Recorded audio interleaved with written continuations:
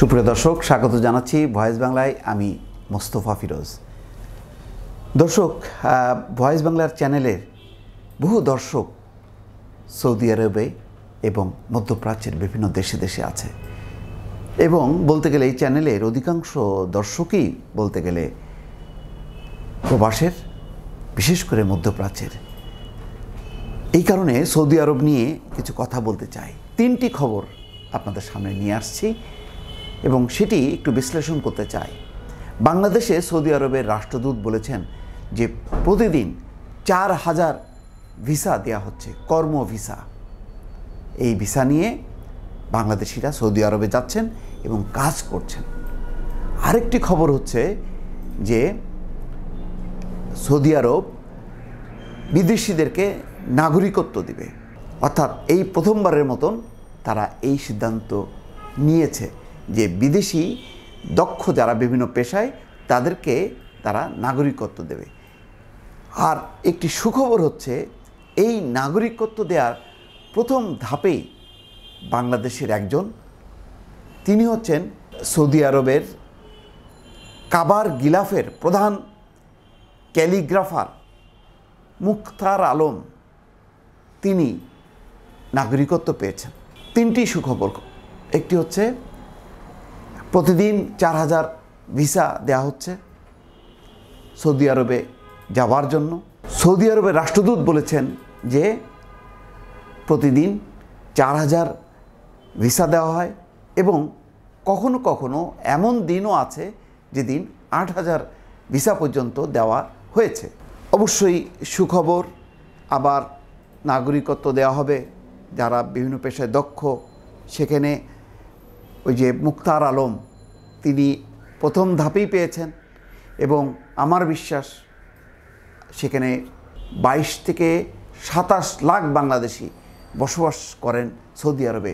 তাদের মধ্যে অনেক দক্ষ প্রকৌশলী আছে, ডাক্তার আছে, অন্যান্য পেশার মানুষ আছে।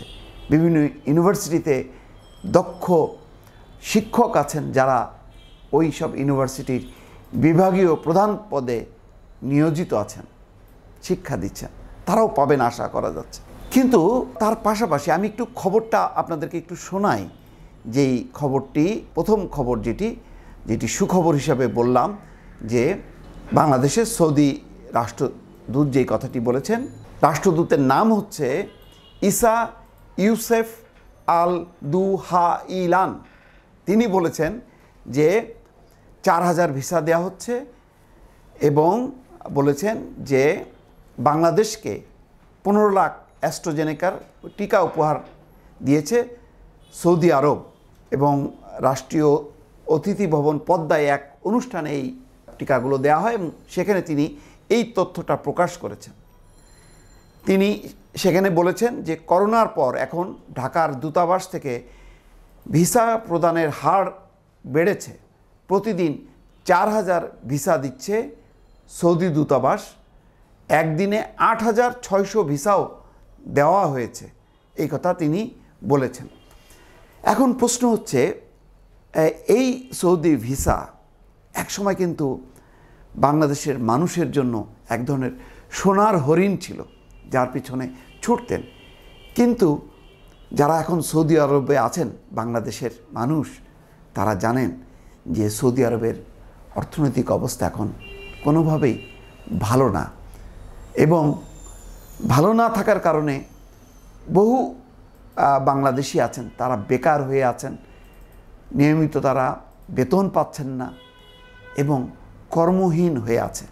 সেখানে সৌদিকরণ চলছে গত কয়েক বছর ধরে এবং সেই ধাক্কায় বাংলাদেশে যারা দশ, পনেরো বছর আগে গিয়েছিল, শ্রমিক হিসাবে তারা সৌদি নাগরিকদের পক্ষে ব্যবসা করতেন সেই ব্যবসা প্রতিষ্ঠানগুলো কিন্তু আস্তে আস্তে সৌদি নাগরিকদের দখলে চলে গেছে। ব্যবসাগুলো কিন্তু গুটিয়ে যাচ্ছে ক্রমেই। বিভিন্ন ক্যাটাগরির ব্যবসা করতে পারবে না বলে নির্দেশনা দেওয়া হয়েছে। যার ফলে হাতে গোনা কয়েকটি ব্যবসা ছাড়া কিন্তু এখন কোনো ব্যবসায় বাংলাদেশিরা আর টিকতে পারছেন না বা করতে পারছেন না।